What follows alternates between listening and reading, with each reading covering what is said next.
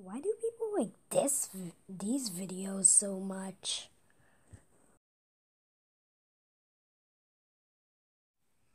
I should probably delete those videos.